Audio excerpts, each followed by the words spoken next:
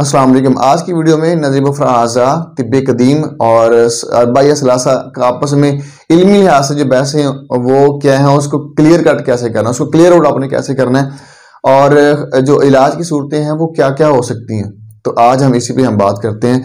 तो नज़रिया मुफर आज़ा, असल में नज़रिया अखलात तिब कदीम का एक खुलासा है, और चीज़ों को तत्बीक दी गई है, यानी क्लासीफाई कर दिया गया है, चीज़ों को आसान कर दिया गया है।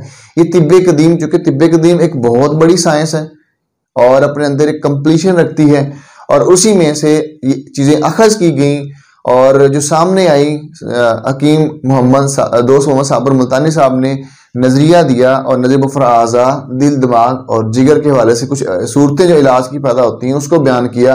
और इल्मी बहस यहाँ पे ये चल रही है कि सलासा ठीक है, अरबा वाले कहते हैं, सलासा जो है वो गलत है, या ये कहते हैं ये ठीक नहीं है, और बाद नजीम अज़ा वाले जो सलासों को फॉलो कर रहे हैं, वो कहते तिब कदीम जो है वो गलत है। ये याद रहे, ये बातें क्लियर कर लें। खासतौर पर जो नए आने वाले हैं, उनके लिए बड़ी आसानी पैदा हो जाएगी। यकीन इस वीडियो के तवस से या इस लेक्चर के तवस से।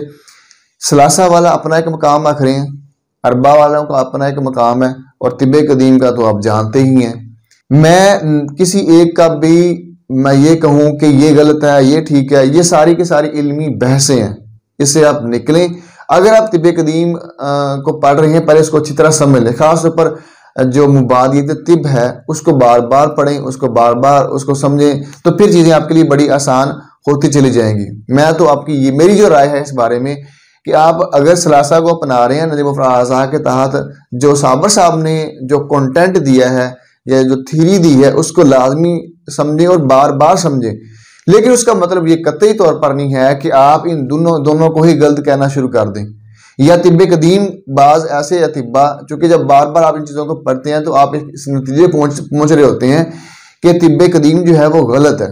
जबकि मेरा भी ये काफ़ी देर ये ख्याल रहा कि जब मैंने सलासा को अपनाया कि तिब कदीम को मैं गलत कहता रहा। उसकी वजूहत ये हैं कि तिब कदीम के अंदर मुखले और तिब्बा आए और उन्होंने अपने अपने नजरियात दिए। फॉर एग्ज़ाम्पल अगर एक हम चीज़ का नाम लेते हैं, किसी एक हरब का नाम लेते हैं, हर एक ने उसके मिजाज अपने अपने लिहाज से बयान कर दिए।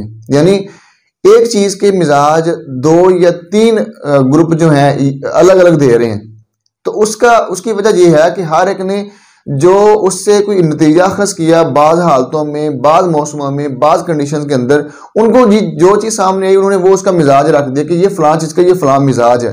वो हतमी नहीं कह दिया गया कि ये ही है। बाकी बाद में आने आने वालों में उसमें कुछ तद्दी की और उसमें कुछ तजदीद की या बेहतरी की तो फिर एक चीज़ सामने आ गई हाँ फलां चीज़ का यही मिजाज है।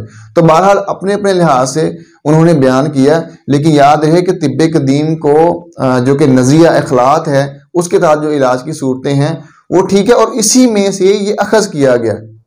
यानी जो नजम आज़ा जो है, उसकी एक कल, कह लें कि उसका एक खुलासा है। यानी तिब कदीम का खुलासा है, जो अपने अंदर साबर साहब ने जैसे कहा कि चार, दो और दो चार हैं, चीज़ों को तकबीक दिया। यानी कि जिस तरह माइक्रोकासम और माइक्रोकासम। यानी जहान अकबर और जहान असगर, जो इनमें चीज़ें हैं, आपस में तत्बीक दी गई हैं, और ये नदी मफर ने उनको आसान किया है। यानी अमराज को अखरात के साथ, फिर आज़ा के साथ उनकी तत्बीक दी है, और ये काम किया है हकीम दोस्त मोहम्मद साबर मुतानी साहब ने। बड़ा अच्छा काम किया है। लेकिन ये याद रहे कि आप एक दूसरे को गलत ना कहें, क्योंकि देखा गया है कि सलासा वाले या अरबा वाले या तिब कदीम को फॉलो करने वाले अपने अपने मकाम पे इलाज कर रहे हैं। अमली लिहाज से कामयाब हैं। यानी तीनों ही नजरियात रख रहे हैं। अपने अपने लिहाज से इल्मी तब की बात करूँ, इल्मी अमली तब की इल्मी की बात इल्मी सारी बहसें हैं कि एक दूसरे को गलत कह रहे हैं, लेकिन अमली लिहाज से देखा गया है, अपना अपना एक मकाम रख रहे हैं। बाकी मैं, अगर मेरी मेरी जो राय है, वो मैं किसी को गलत नहीं कह रहा।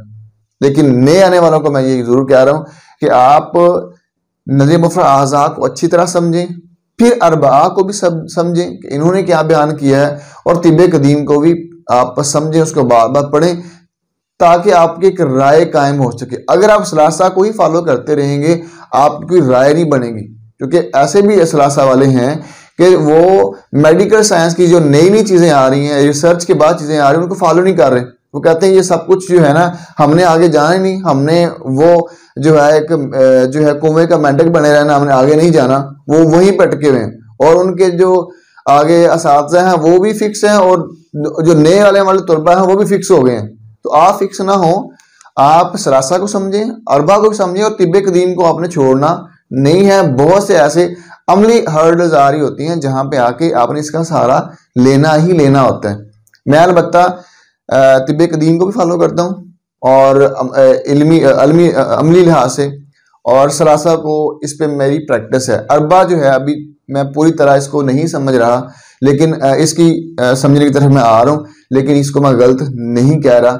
आप, फिर मैं दोहरा रहा हूँ, तीनों को ही आप समझ लें आपके लिए आसानी होगी, क्योंकि आपने काम करना सर्व करने वाला काम है। आपने लोगों को इससे कोई फ़र्क नहीं पड़ रहा कि आप किस स्कूल ऑफ़ थाट के तहत इलाज कर रहे हैं। सलासा के तहत कर रहे हैं, अरबा के तहत कर रहे हैं तिब्बे कदीम कदीम के तहत इलाज कर रहे हैं। क्योंकि उनको ट्रीटमेंट चाहिए, उनको इलाज चाहिए, उनको क्योर चाहिए। और आपके लिए, ऐसा करने के लिए आपने तीनों को ही समझना होगा।